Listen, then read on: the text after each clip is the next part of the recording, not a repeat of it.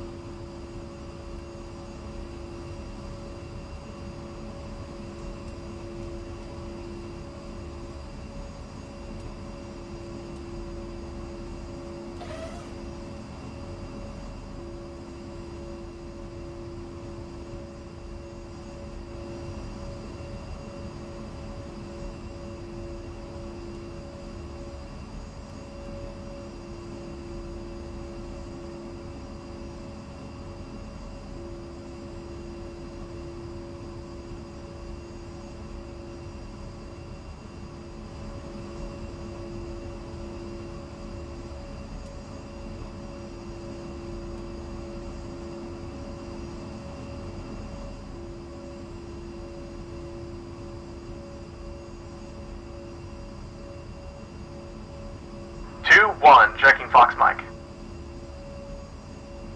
Lima Charlie,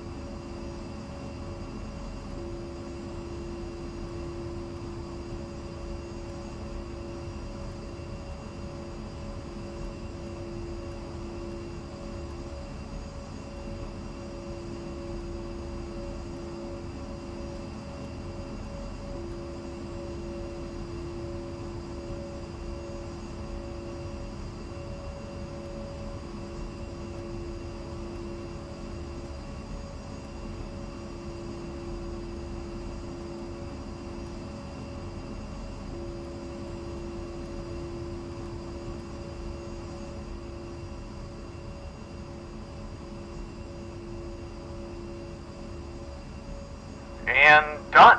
Train flight plan is ready. Good, contact ground when ready. Two is already up. Roger.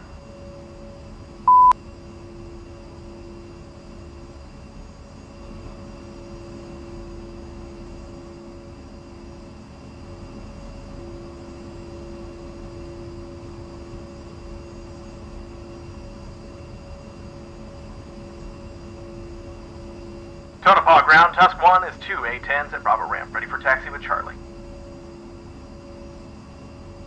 Tusk 1, Charlie is current. Taxi Bravo, Foxtrot, Alpha, hold short runway 32 at Alpha. Contact Silverbow on 257.9. Bravo Alpha, hold short of 3-2, and Silverbow on 257.9, or Tusk 1-1.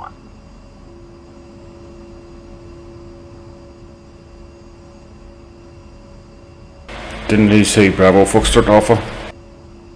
Okay.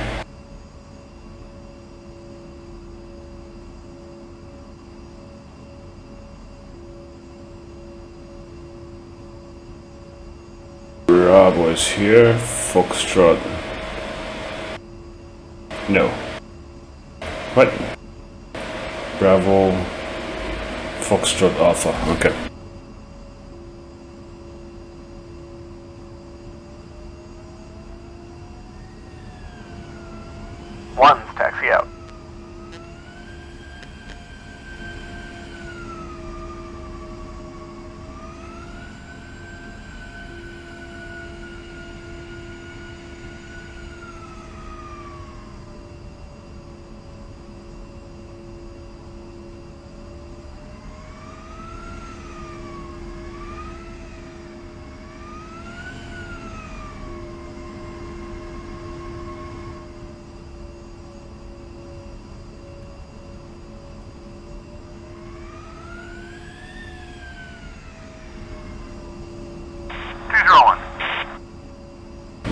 Why do I hear the engine meowing?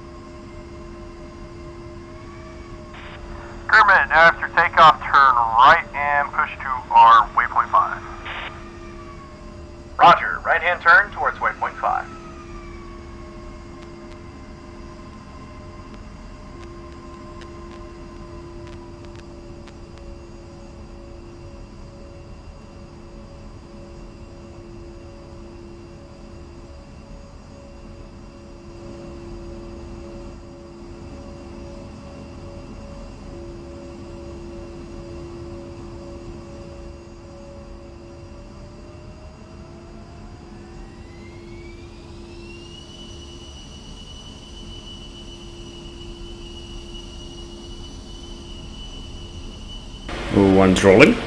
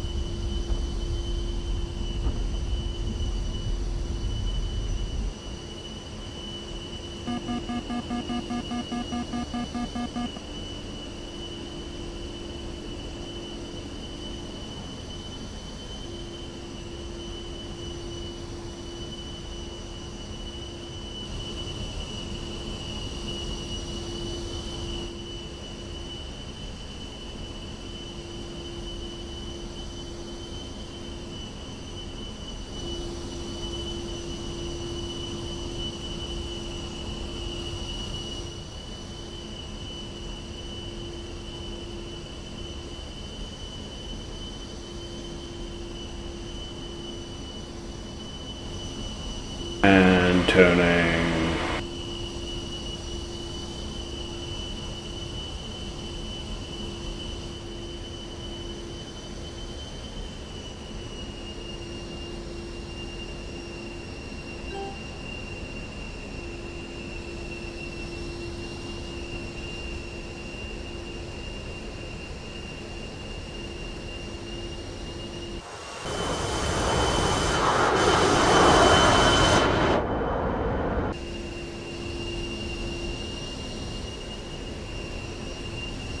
Okay, he took off, but there was no communication.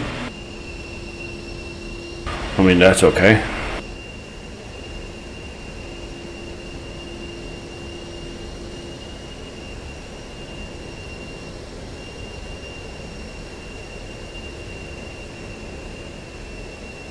Oopsie. Warning, autopilot.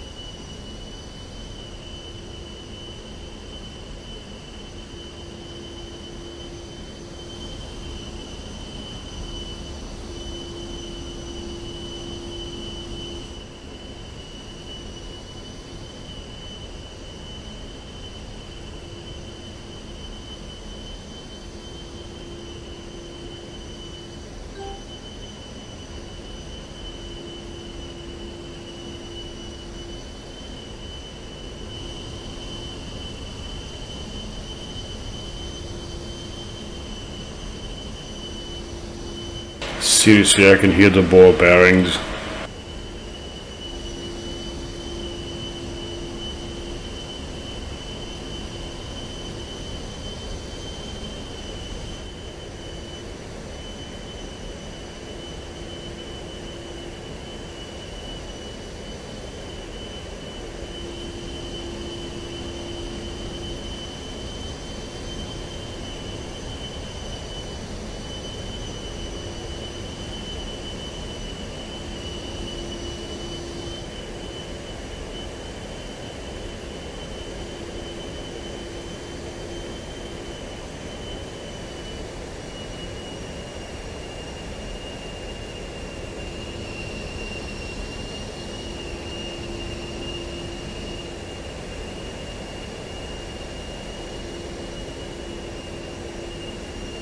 It's like the cockpit is open, but it's not.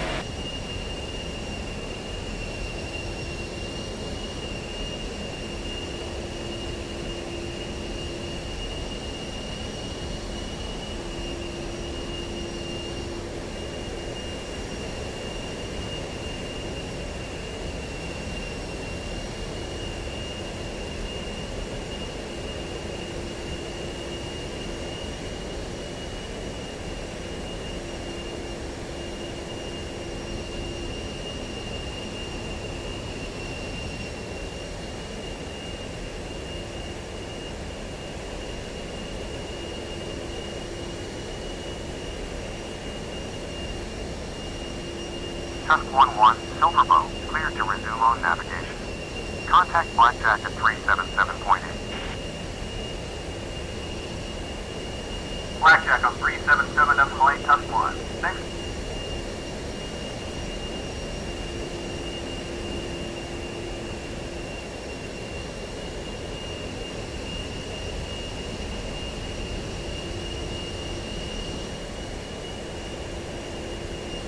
So, why is Tonopah Tower called Silverbow? I have no idea why they chose that name, but I do know a little bit about Silver Bowl. Then indulge me. It was one of those short-lived mining towns that popped up and grew like mushrooms in the beginning of the 20th century. Well, maybe mushrooms aren't the best example, but you get the gist. Anyway, the settlers thought they found even better deposits than in nearby gold fields, but they were wrong about that. Silverbow was abandoned only one year after it was created. Now, it's one of the many mining ghost towns gathered in the desert. Is it open for tourists? I guess if you have authorization to enter the Tonopah Electronic Combat Range, plus a good four-wheel drive, then yeah. Huh. For the time being, I'll limit my activities to the petting zoo you mentioned earlier. Yeah, it's totally worth it. As for getting back on range, stand by. I'll contact Blackjack. Push 377 decimal eight. Done.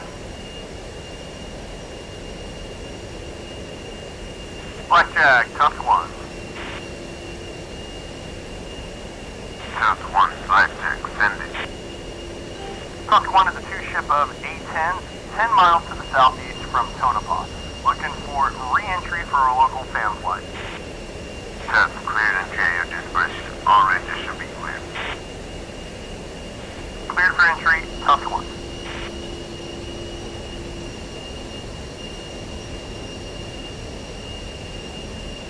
You're apparently a history major, can you elaborate a little more on the F-117's operations here at Tonopah? Yeah, sure. So, in the early 80s, as the Senior Trend project was moved over to the operational side, they shifted the entire F-117 program from Groom to Tonopah. The base was pretty sparse, so they had to build it up. They added all the security measures, support infrastructure, dorms, and the rows of hangars that became known as the Canyon. Dorms? So people were actually stationed up here? No. Well, most are not in the traditional sense. So they were actually assigned to Nellis, but they would get flown up here on Monday, and then they would get flown back to Nellis at the end of the work week. Keep in mind that the F-117 was a black project until really the spring of 1990. Being black, a lot of stuff was kept in charge, figuratively and literally. I'd imagine. So what did these folks tell their families what they were doing all week way up in the high desert? The story was that they were doing stuff with A7s up there. A7s, huh?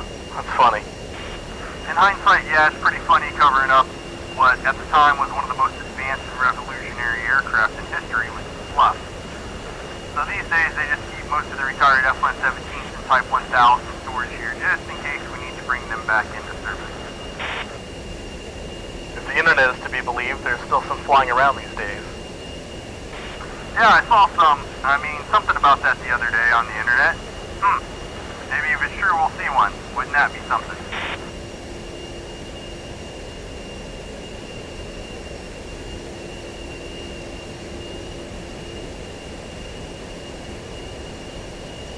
We're getting close to the live fire ranges where we'll be doing that side of your training. Yes. I can't wait to get back on the trigger. I bet.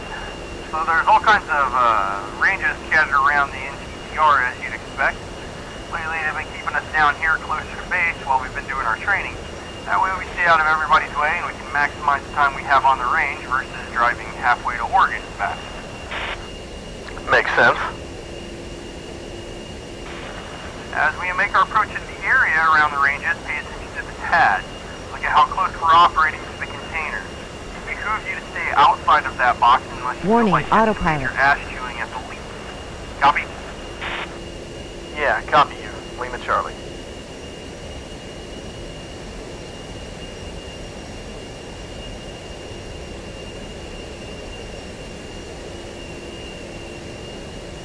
Alright, we are now going towards the North Force Basin ranges. Let's have a look at the waypoints. Warning, autopilot. And then we'll see how they work in practice. Sounds good? Yeah, sounds okay. Good. Please pay attention as this part can be quite tricky and rather complicated. I'll try to make it as straightforward as possible. I'm all ears. Cool. So each waypoint has a certain set of attributes assigned to it. These can be set either for the flight plan or for the individual waypoints independent of the flight plan. We can view those in a number of ways, but first let's focus on the flight plan one. Go ahead and put the AAP steer dial into flight plan mode, press the nav button on the CDU, and choose the attributes page.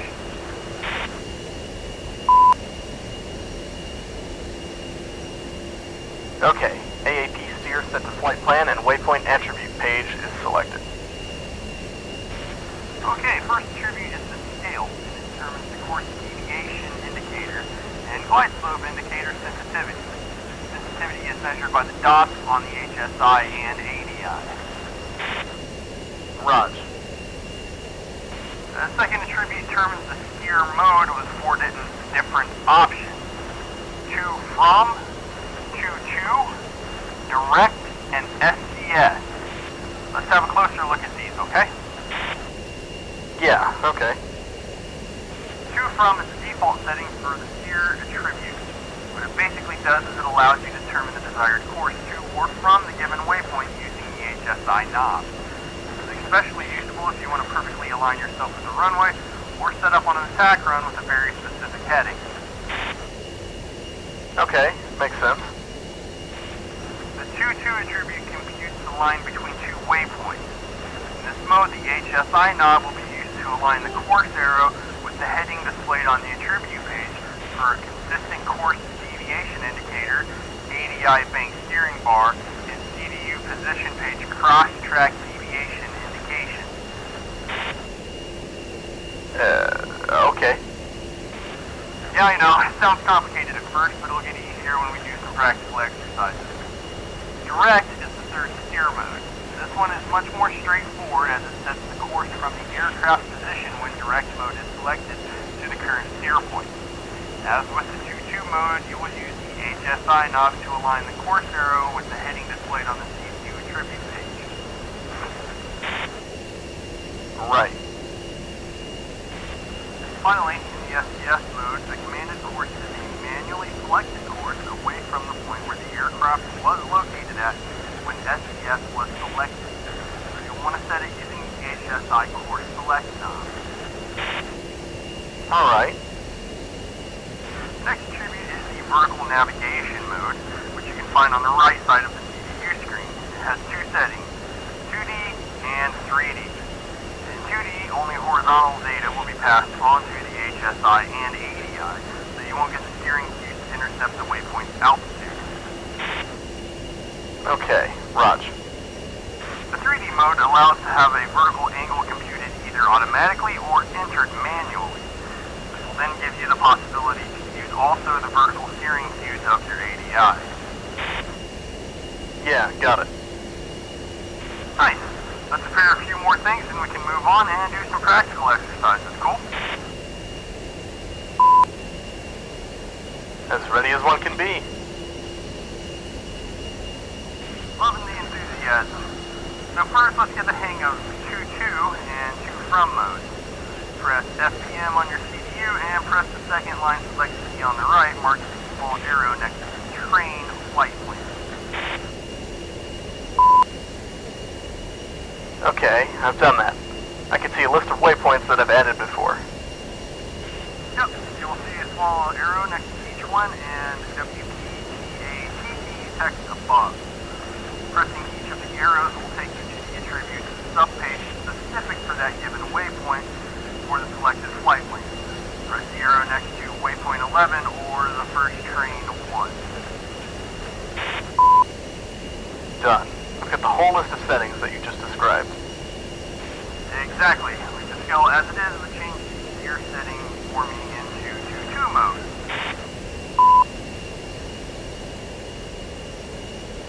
Alright, done. Perfect. Now press the flight plan menu button on the CDU again.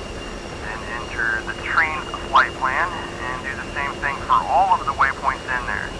But we're going to leave train 4 as to from. Let me know when you've done all that.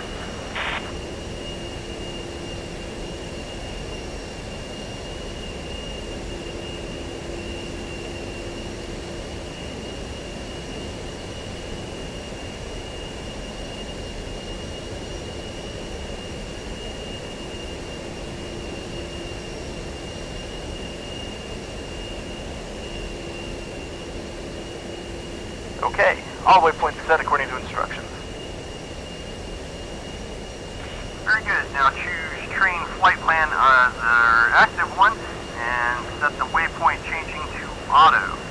Next select waypoint 14 or train 4 as your steer point. Okay, done. Our aim will be to get there flying a very specific heading, say 270. Currently, waypoint 14 should be somewhere to our 7 or 8 o'clock, which is indicated by the thin arrow on your HSI. A firm. Okay, use the HSI course select knob and set the desired course to 270. Once you've done that, you will notice that the CDI needle has moved away from the course arrow, which is currently pointing directly to the left. Right?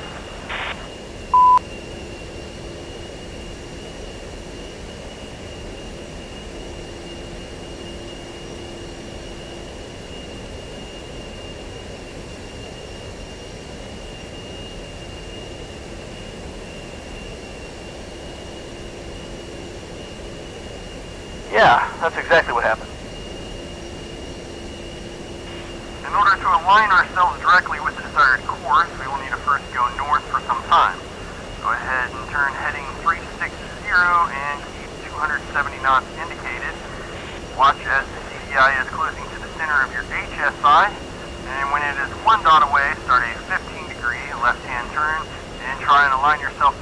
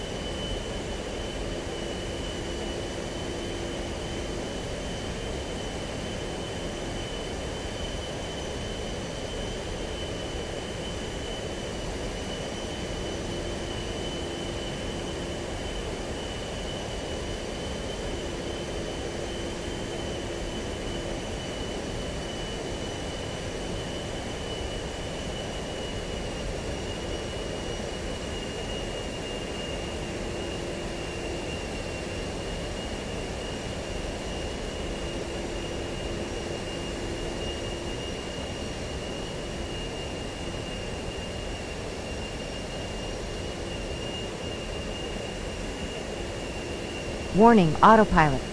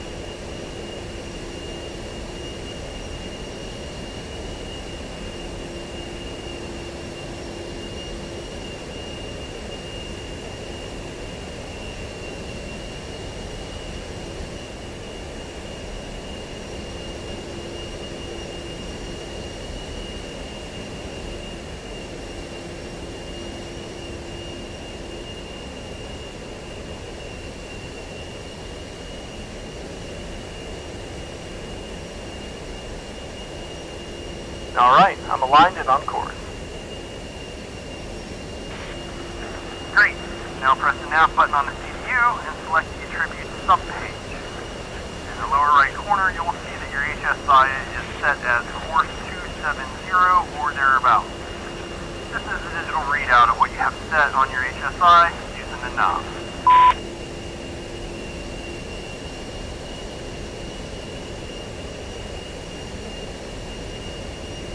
Either I did something wrong or this doesn't work.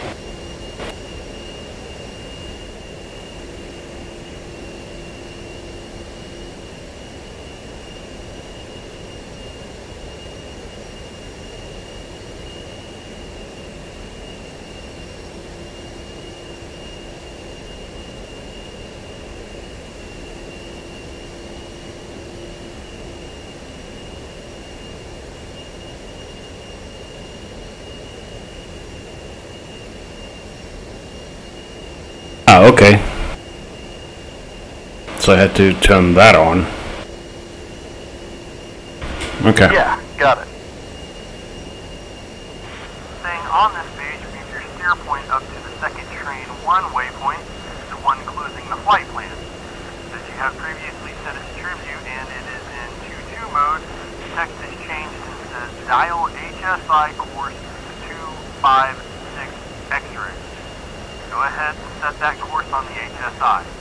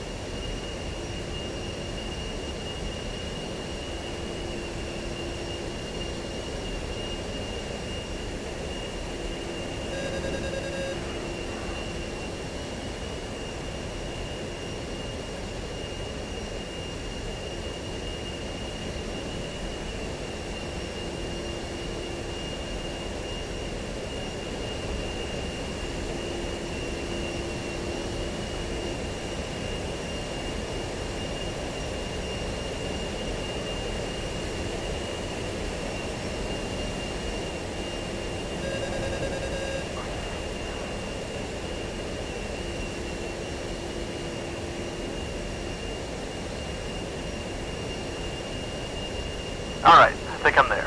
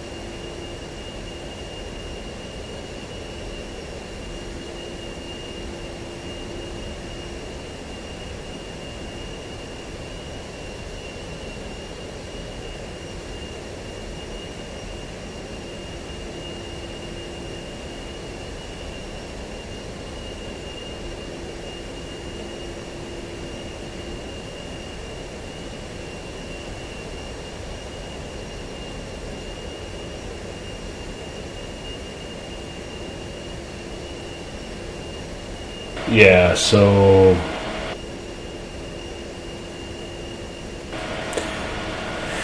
yeah, I might have missed that. That I need to put that into steer point mode, and then the HSI will show me stuff.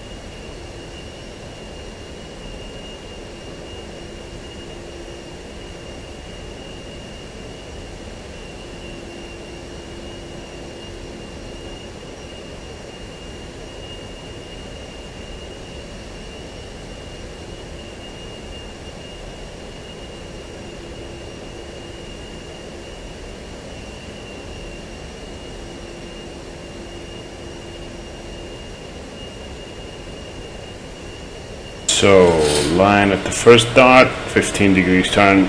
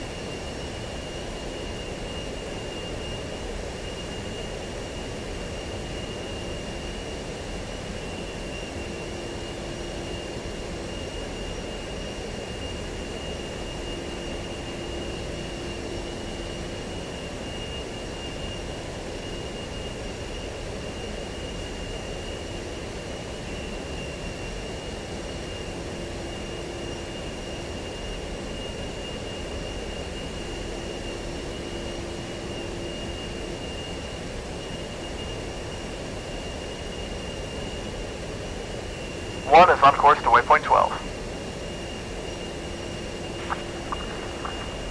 Good shit. Next rotate your course set knob left and right. You will notice that it has no impact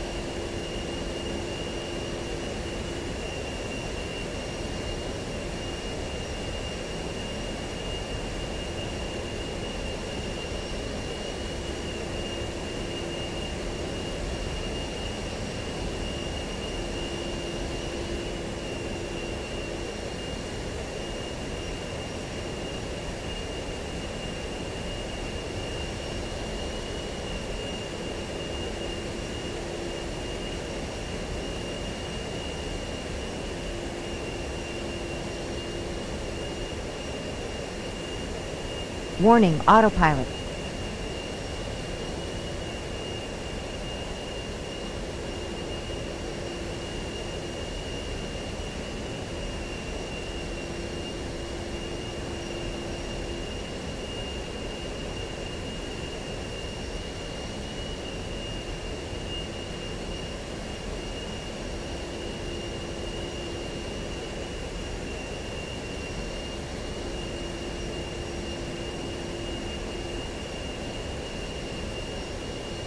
The worst thing about this is that I vaguely remember doing this once. Like a long, long time ago.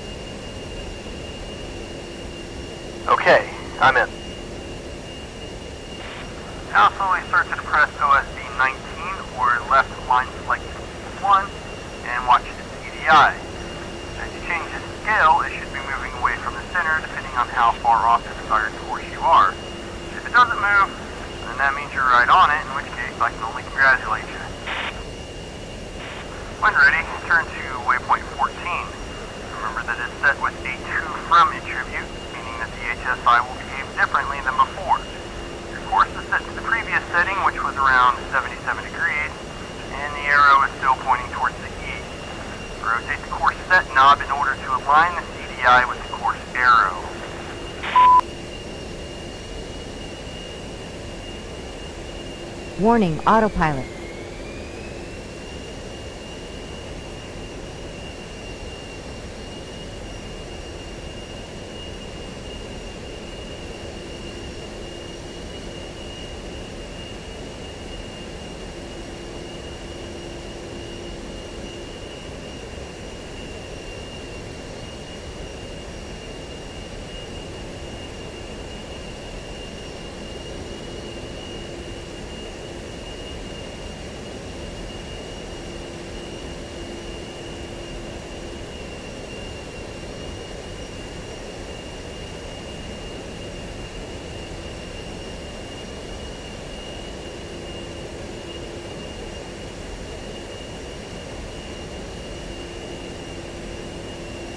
Okay.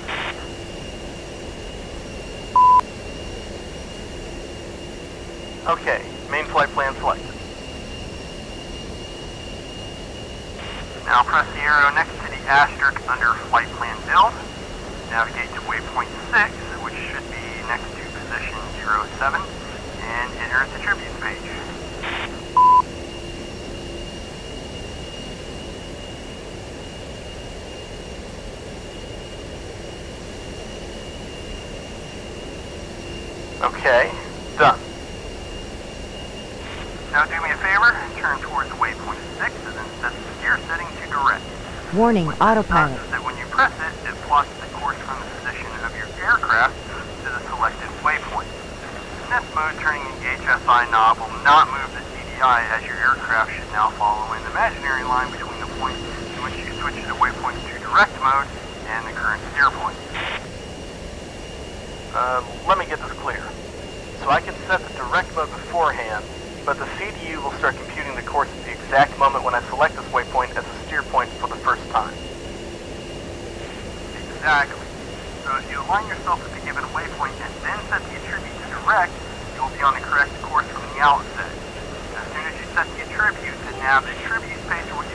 autopilot.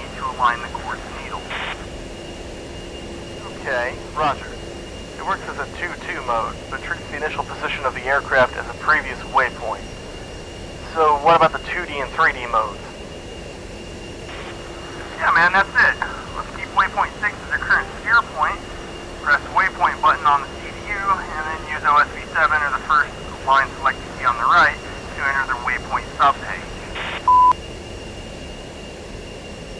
Alright, I'm on the waypoint subpage now.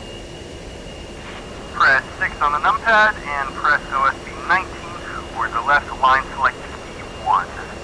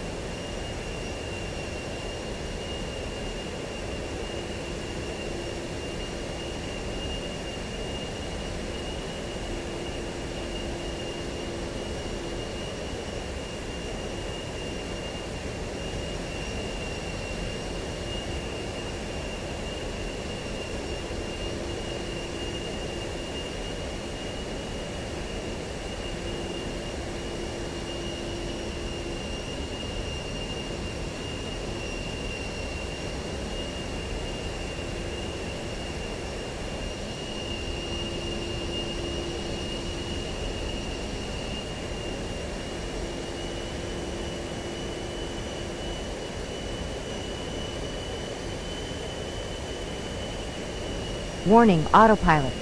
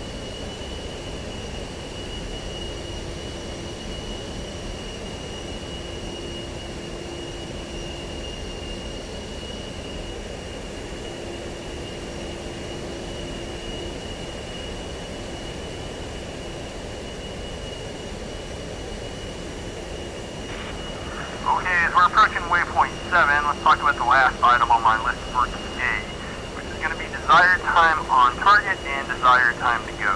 Ready? Sure. Okay, so as the name implies, the desired time on target and desired time to go allows you to determine a specific time of arrival up to within one second, or a specific time to reach a given waypoint. These are interlinked, so if you set one up up to two, it will others. Roger. Makes perfect sense. It does, doesn't it? So let's try to use it to cover a distance between waypoint 7 and 8 in a set time. Let's say 5 minutes. Alright. Since we are following the flight plan, we'll just have to set it up using the flight plan menu mode on the CDU, just as we would change the waypoint attributes. So please enter it now, select the current active plan, and go to the properties of waypoint 8.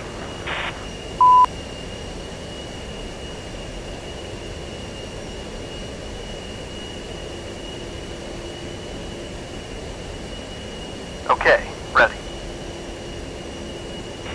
the bottom left side of the screen, you will see the desired time to go and desired time on target value.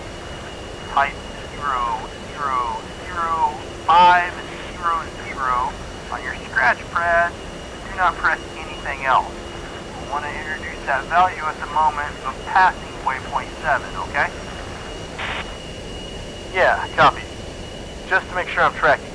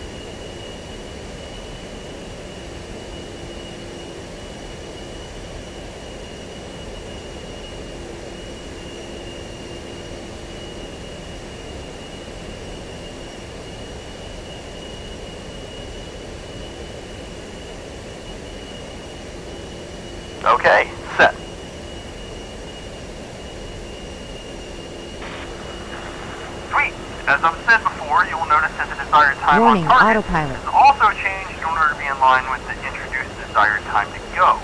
Now take a look at your HUD. Below your current speed, you will notice a letter R with a value next to it. A-firm. That's the required speed and it hangs there from time to time, like before as well. Bravo, Sherlock. Yeah, sometimes those values are added in the cartridge. In order to get rid of it, you'll need to enter the attribute page and press the LSK or to desired time on target or time to go, and it will disappear. Okay, now match your speed with the required value. Copy. As you do so, take a look at the right side of your HUD. You can see the remaining time followed by a slash and value with a plus or minus in front. A-firm. This shows you how many seconds before or after the desired time you will arrive if you use your current. So if there's a plus, it means you're going too fast and will arrive too early. If there's a minus, you're too slow and will arrive too late. Got it? Pluses I'm too fast, minus too slow. Gotcha.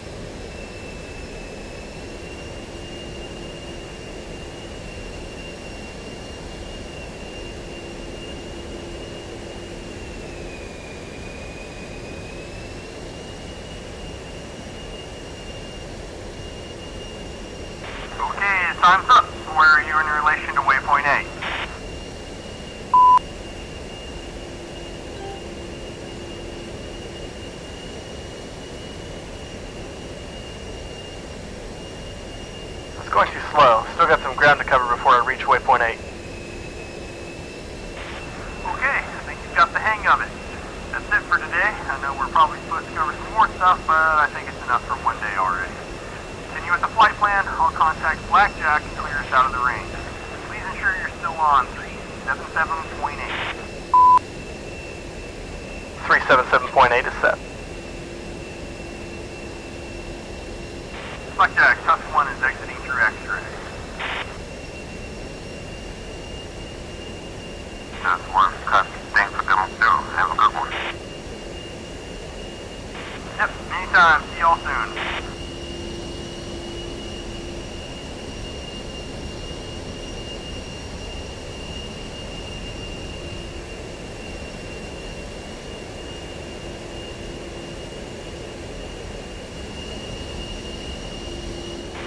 Okay, dude, let's switch to approach, and uh, I'll let you give them a heads up. Just contact them when ready. Roger, stand by.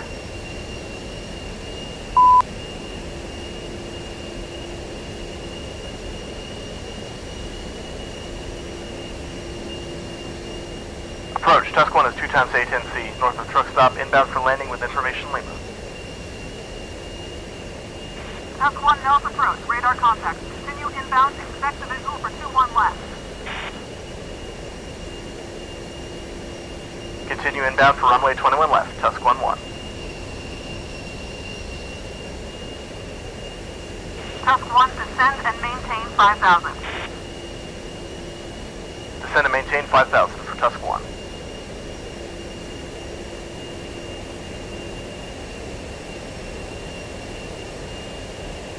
Tusk 1-2, enter a right-hand orbit over the truck stop for spacing. Approach, Tusk 1-2, copies. Anchoring over the truck stop, right-hand orbit.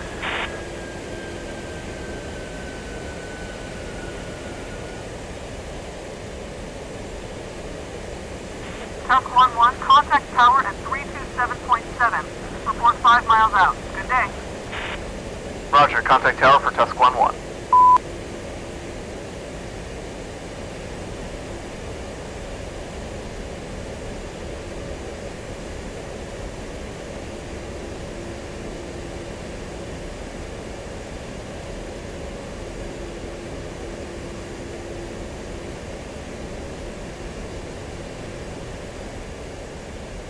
Nellis Tower, Tusk 1 1 is 5 miles out from runway 21 left full stop. Tusk 1-1 Nellis Tower, wind is 030 for 10. Check landing gear, clear to land runway 21 left. Clear to land, 21 left, Tusk 1 1. Uh, okay. I may have uh,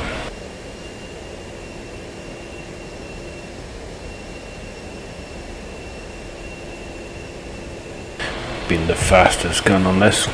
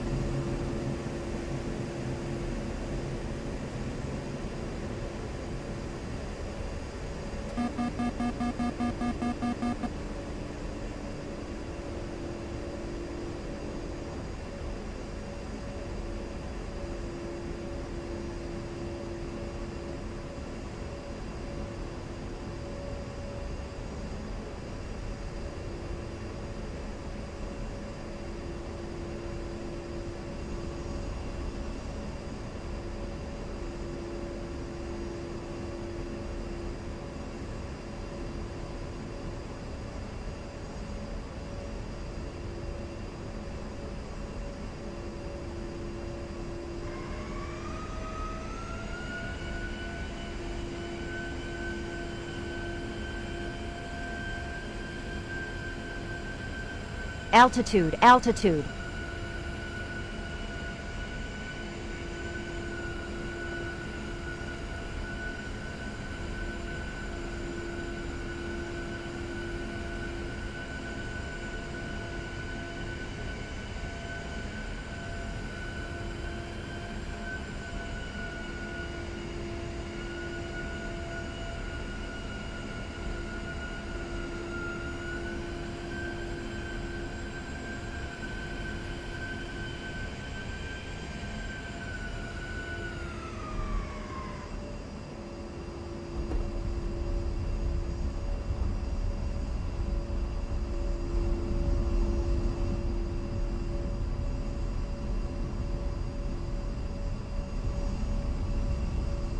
Okay, I'm safe on the deck. Guys, taxi back to Thunder and I'll catch up with you there. Tusk 1-1, Nellis Tower, vacate at Alpha. Contact ground on 275.8. Roger, vacate Alpha, contacting ground, Tusk 1-1.